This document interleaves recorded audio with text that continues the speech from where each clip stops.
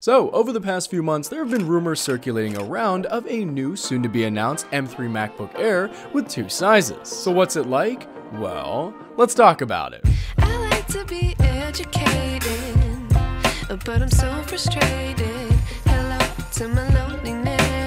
The M3 MacBook Air is Apple's newest entry level laptop, sporting a newfangled processor and allegedly two sizes, starting at likely the same or around the same price as the current M2 MacBook Air, $1,200. And the larger version will likely be a bit more, I'd guess $200 extra, so around $1,400, which given Apple's current prices of everything, does make this laptop seem fairly reasonably priced. However, it is within striking distance of the 13 inch MacBook Pro, so let's see what you get with this laptop. First, First, the form factors. The M3 MacBook Air will come in two sizes, a 13 inch and a 15 inch version, which will make things a bit interesting. The screens themselves will likely share the same characteristics as the M2 MacBook Airs, with LCD displays that look pretty with some good peak brightness, but probably not 120Hz or mini LED though. Those are likely reserved for the MacBook Pros, which again will be in striking distance of the 15 inch MacBook Air in particular. So we'll talk about that more a little later. With that said though, the design will likely be the same as the last generation, with a notch on the screen as well. Now,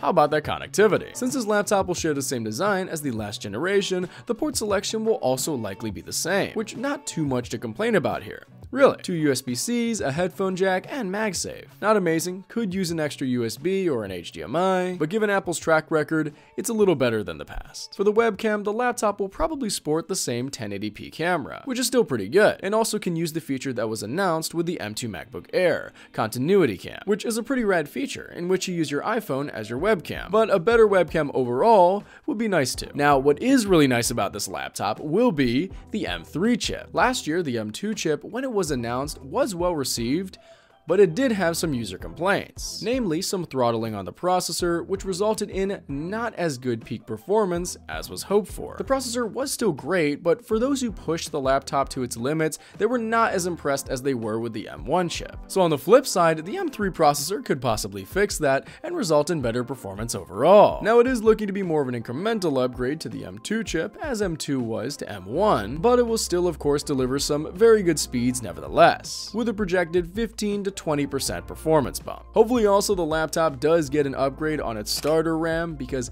8GB probably doesn't always cut it these days. Moreover, with this new processor, we're also expected to see a better battery life as well. Can't give any exact numbers, but expected to be better than the 18 hours of the M2 MacBook Air, which will be amazing. And also something I'm hoping to be amazing is the storage but this is probably wishful thinking, because it's likely going to start at 256 gigabytes, which is not great for a laptop at this price. That's more than $4 per gigabyte here. But if Apple does surprise us and it does actually start with 512 gigabytes, that'd be much better but again, wishful thinking. And finally, let's discuss the release date. There are two possible times that this laptop could likely be announced, either during the spring Apple event or during WWDC. Now, many leakers have been going back and forth on whether a spring event is even happening for Apple this year, or if the important announcements could just be pushed back to WWDC instead. Last year, the M2 MacBook Air was announced during WWDC, and that could likely be the case for the M3 version as well, but we'll see.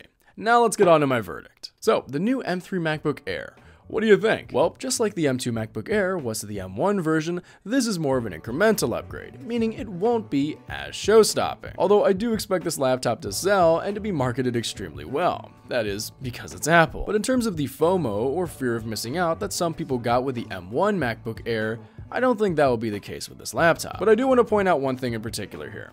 With the 15-inch MacBook Air, it does seem that Apple is going to try to do the same thing with the MacBook line as it does with the iPads.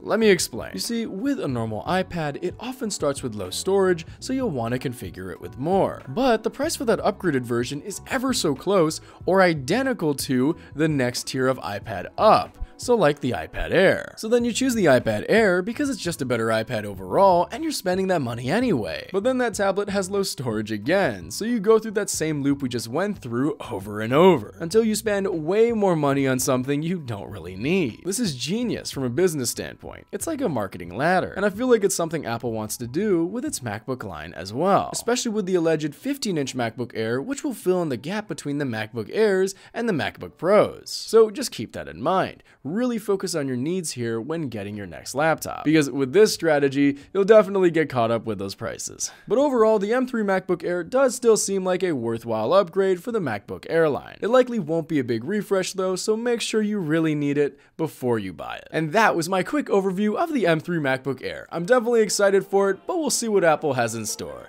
Anyway, my name is Cyrus. It's spelled like Cyrus, but not like See Rooster, just take out the ter. Thank you very much for watching and have a wonderful day. Peace. But I'm so frustrated.